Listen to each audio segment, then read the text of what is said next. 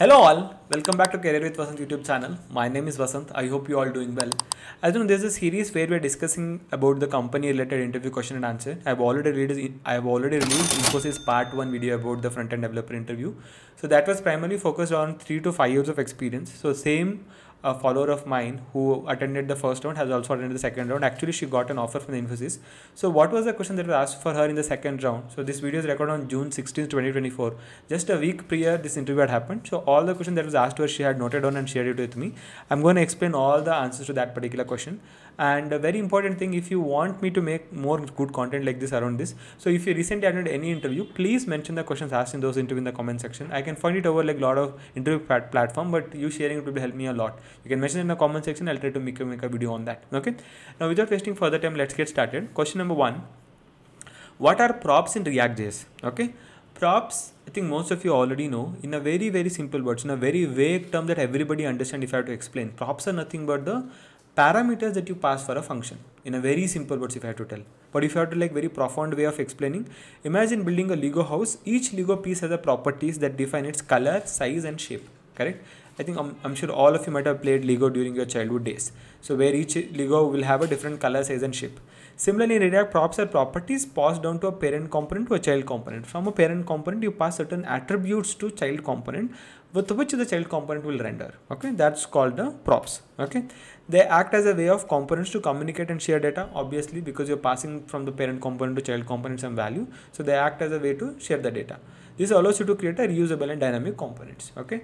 See, it is only because of props we are able to build a reusable components. Let's say we have defined a button and a color is passed to the prop to that particular uh, button. Then we could render a button with blue color and orange color red color. All of this is possible only because of the property of props. So props is very very important interview topic in most of the service based companies and mid level product based companies. So please know this very much in depth. Okay? So whatever i told if you're able to explain in the interview make sure this question you are through. Okay?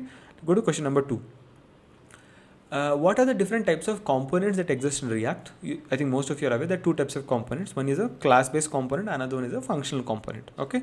What is a class component? These are blueprints defining how a component behaves and renders. They use a class keyword and allow for functionalities like state management and lifecycle methods. Functional component. These are simpler and more concise.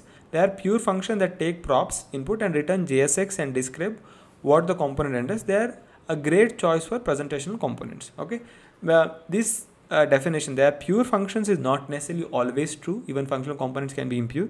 This definition actually taken from the official documentation but uh, to correct it pure function components need not to be always pure. They can be impure as well. Okay? Pure impure i think most of you are aware. Pure functions are deterministic. Non-pure functions or impure functions are non-deterministic. Okay? So we cannot determine the output of a pure function. Uh, we cannot determine the output of a functional component all the time. It also can vary. What if you're using like random number inside the component? The output can vary. Okay now we have a two component, class-based component and functional components. I'm sure most of you watching this video might have started your career with the functional-based components. You might have used class-based components very less. Class-based component actually is a very structured way of developing the code, but it has a lot of boilerplate code and a lot of confusion over this keyword because of which the functional components have become very popular. Okay. That's the fundamental difference between class-based and functional component. In case you want to know very much in depth, I have made a detailed video about complete React.js preparation where I have explained this very much in depth. That video will be on the screen, also in the description section. You can go ahead and check it out. Okay. Let's go to question number three. What are states in React.js? Very very important question. Uh, intentionally I have picked it. Okay. This look very simple for most. Like what are states? You create variable inside a component that becomes a state but you need to have a proper definition for states okay? So what are states in react think of state as an internal memory of a component. So state is nothing but a memory of a component. As long as the component is alive or as long as the component is visible on the screen these states will have a value states also will uh, will have a value. So it's nothing but a memory of a component states. Very very important definition you need to know okay? It allows components to react to user interactions data changes. You can use a use state hook to manage the state in a functional component okay so use state is a way in in, uh, in the functional component where you can create the variables you can create the state variables and whenever you want to change certain things let's say that whenever you want to re-render a screen on a particular change you can use the state variables to do that okay?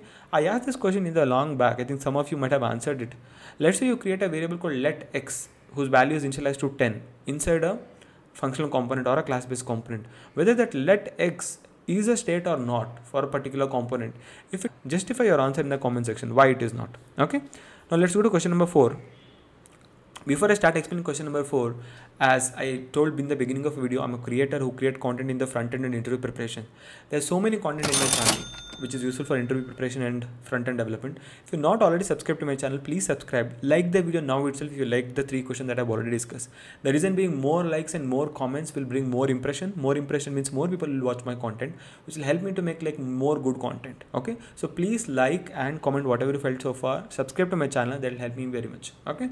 Let's go to question number four. What are stateless components in React? Very, very important interview question again. Now you know what is state. State is a memory of a component, correct?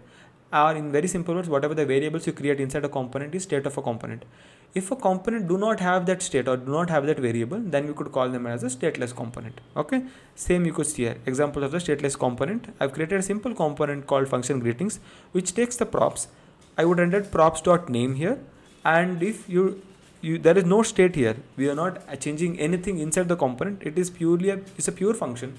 Only if it gets something it will return something. If you're not sending whatever uh, the props required here there's no changes for this particular component.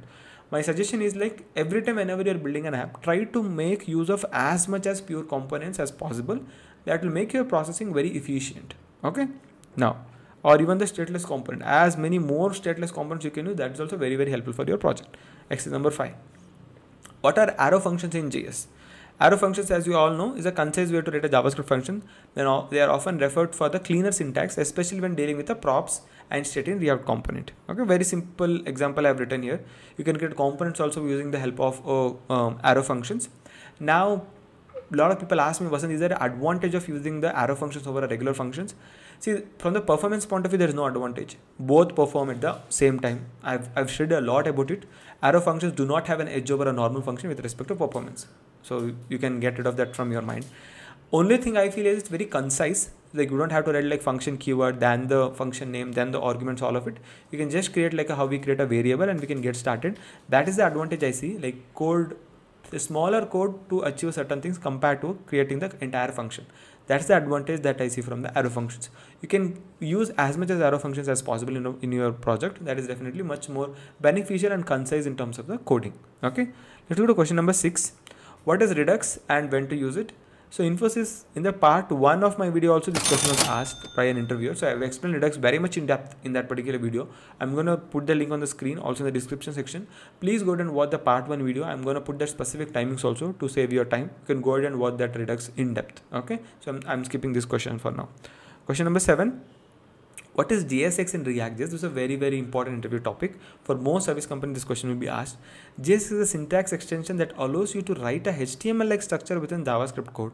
This makes it easier to visualize and build user interfaces in React component. Okay, I'm sure everybody who have used React have already used a JSX, but what is JSX is a syntax ex uh, extension that allows you to write HTML-like structure within JavaScript code. So that is the beauty of JSX where earlier HTML was separate, CSS was separate, JavaScript was separate. Now with the JSX concept, they all of them like put together in one. That is the advantage of using the JSX.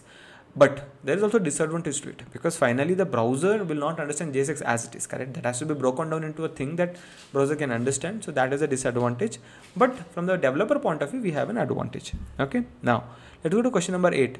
What is strict mode in JS? Okay. This is very, very important. A lot of people do not use a strict mode and you have to use it. React strict mode or in JavaScript strict mode is a development tool that helps identify potential issues in your application code. It enables warnings and deprecated features, lifecycle measures and other potential problems allowing you to catch them early during the development. So if you're not using the strict mode, JavaScript itself is not having so much conditions whenever building the project. I've written a small code for your reference. Okay. So let us see this particular example. Function greet takes a name console.log hello whatever the name that you're passing and you are of age years old. Okay?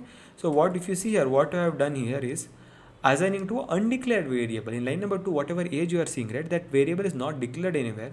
We're uh, we are assigning the value as 30 to it and we are logging it. Okay? Let's say if I run the code I'm getting an output like hello Alice you are 30 year old. Okay?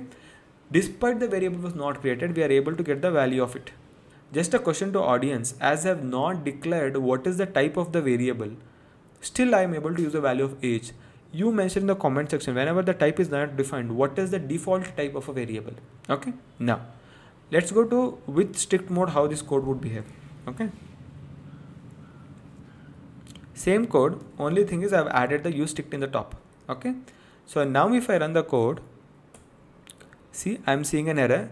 Age is not defined same code same everything is same. Just because I use the use strict it became a strict mode and age has to be defined before it's getting used.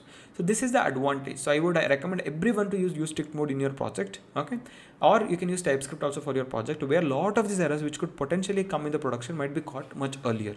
So i would highly recommend everyone to use the use strict mode okay? So these are all the top eight questions not the top eight question. I think the eight questions that were asked in the Infosys round two for my follower who shared the questions with me. Okay. I'm sure you like the video. If you watched, did not watch the part one, go ahead and watch the part one link in the description section. If you watch part one and part two, I'm sure most likely if you attend any info interview coming days, you are gonna clear that particular interview. Okay. Now if you already if you're not like the video please like the video share the video with friends let them also get benefit from it. Comment whatever you felt honestly that will help me to make more good content. If you attend any interview recently please mention those comments and the company name in the description section. I'm gonna come in the comment section i'm gonna make a video on that. See in my channel i have a lot of content. I have more than 18 plus mock interview across various different level fresher mid-level experienced engineer. I'm gonna put that link on the screen also in description section. Please go ahead and watch the mock interview before attending your next interview because you you understand what are the mistakes that you potentially make and you can fix them. I have a 36 plus videos which is dedicated for the javascript related interview. You can watch that. I've dedicated complete react.js interview preparation. You can watch that. There's so much good content in the channel. Please make a well utilization of it.